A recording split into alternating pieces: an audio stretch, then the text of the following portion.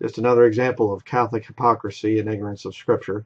I'm going to play this little clip here from the remnant video, Michael Matt, from this thing here, and um, this big thing of uh, the abomination of desolation standing in New York's holy place.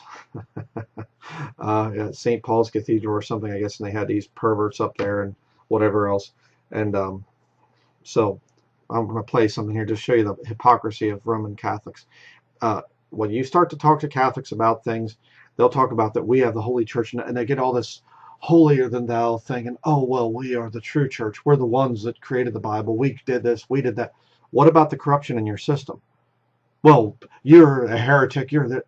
They don't talk about the corruption in their system. I mean, he does. He talks about the, the corruption, but then he just turns and twists things. We'll see about that as we continue here. Let's watch. 1988 when they first got started. Does anybody out there, whether you're Catholic or not, does anyone understand why this is happening? Does anybody think this is a good idea? He's talking about the Latin Mass being taken out. Um, yeah, it's called the uh, Catholic Church is fake. It's false. It's not Christ's church. That's why. That's why they're changing and, and getting woke and all the other stuff. And I'll say more about that as uh, in, here in a little bit.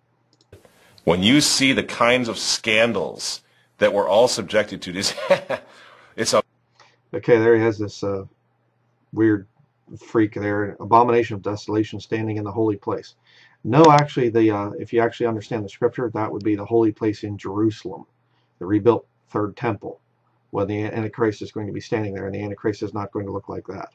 Okay, he's going to be a perfect counterfeit for Jesus Christ, I believe, according to the Catholic paintings um, that you see out there. But now watch watch the comparison that he does here. Okay, you're, you're dealing with transgendered, a man dressed up like a woman, and the, the whole St. Paul's Cathedral here is just filled with these perverts and everything, sodomites, doing all kinds of things that are an abomination to the Lord. And he watch the comparison he makes and who he compares it to. Watch this. It's a miracle. It's an act of God that there's anybody left in the Catholic Church. Uh, actually, no, it's not an act of God that there's anybody left in the Catholic Church. That's called uh, mind control and brainwashed people that can't leave their system. Right? And Peter Kwasniewski rightly notes about this case in Texas. He says, An enemy hath done this. Wolves in sheep's clothing, monsters in clerical attire, savages in black suits. Dry. Okay, that's all talking about uh, Roman Catholic priests. But watch who he compares it to. Driving the people of God to despair. I said that last week. These are monsters now. They're not just modernists, they're monsters. It's like we're reading right now. We're living through the Elizabethan period of persecution of Catholics. You know, where good priests like Edmund Campion were being killed and wiped out and rounded up. Feels the same, doesn't it? They're just shutting down masses all over the place, just like.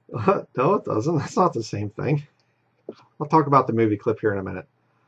Like they did then. But these guys, I guess, are too ignorant of history to realize how much to a T they fit the description of the bad guys 500 years ago. Okay, let me stop there. All right, the bad guys 500 years ago. Uh, Catholics.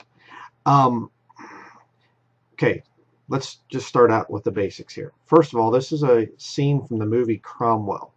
The actor right there is Richard Harris, right? Richard Harris, if you go to Wikipedia or any other thing out there, it's not, I don't, you know, Wikipedia is not the most definitive thing, I get it. But, you know, it's just talking about his life. Down here, early life, uh, right here it says he was educated by the Jesuits at Crescent College. He's Jesuit educated. Okay, so uh, you're actually showing a, a papist in that's playing this role of Oliver Cromwell. Oliver Cromwell was a good man. But the scene here is not a Catholic church. It's a Puritan church. And if you watch the movie, the guy playing Oliver Cromwell here is mad because they're bringing in popish idolatry to the Puritan church. Catholics are not being persecuted in this scene here.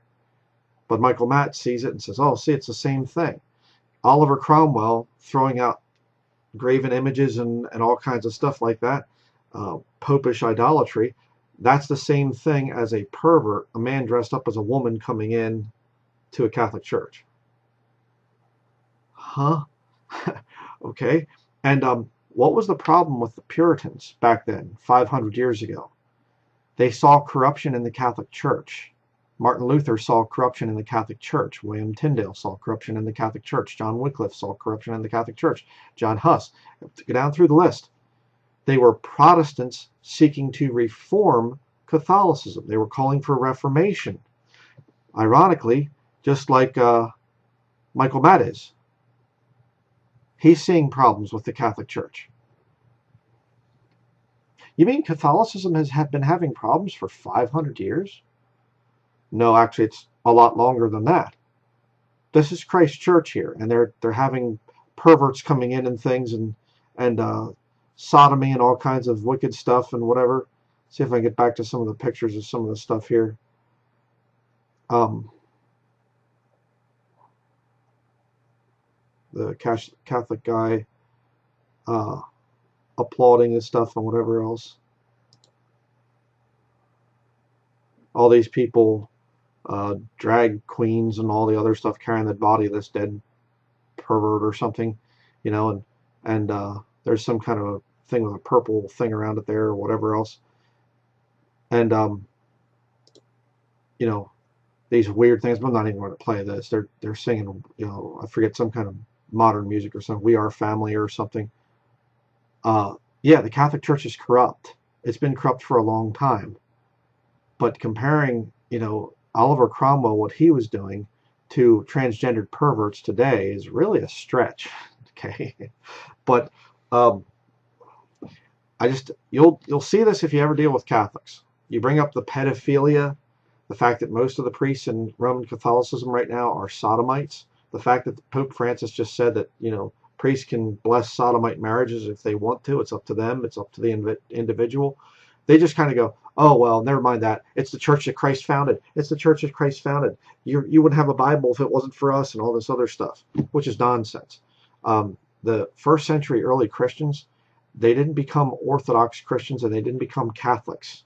They were called heretics. We've always been called heretics and hunted down by both Catholics and not so much so by the Orthodox, but the Catholics definitely have hunted down and executed heretics. And then, you know, some of the Puritans and things would get over, you know, carried away and they kill a Catholic priest and the Catholics go, oh, we're being persecuted, we're being martyred and all this other stuff. yeah, okay. Uh, St. Bartholomew's Day Massacre, the Spanish Inquisition, you know.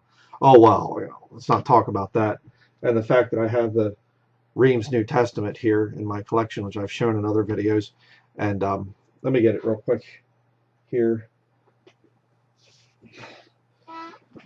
The original and true Rheims New Testament.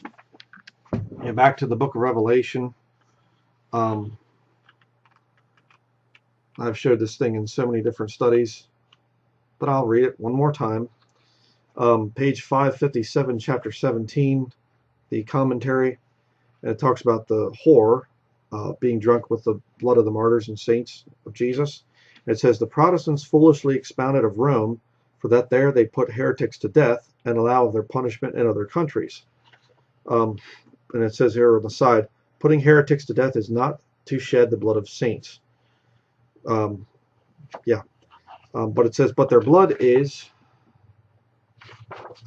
uh, not called the blood of saints, no more than the blood of thieves, man killers, and other malefactors, for the shedding of which by order of justice no commonwealth shall answer.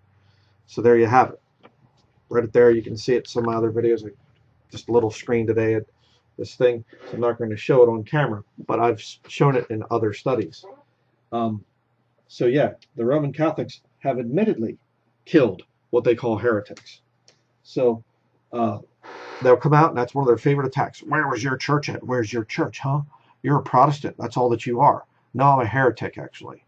I'm not a Protestant. I do protest against things, and I would say that in that sense, yes, I would line up with some of the Protestant stuff, but I'm a heretic. I'm not a Protestant, okay, according to Roman Catholicism. But just thought I'd show that little hypocrisy there of, uh, again, Roman Catholics comparing transgendered perverts to the reformers that were actually trying to clean up the Catholic Church. So, um, I mean, you guys might as well just come out and say that you're Protestant reformers now as well. You're protesting the abuses of Rome, as you know people have done for ever since Rome was, you know, Roman Catholicism was around. um, you know, all the heresies, all the you know schisms and all the other stuff, just fighting all the time. So quit pretending that you guys have it all figured out, that you're the one true church, because you're not. All right. Thank you for watching.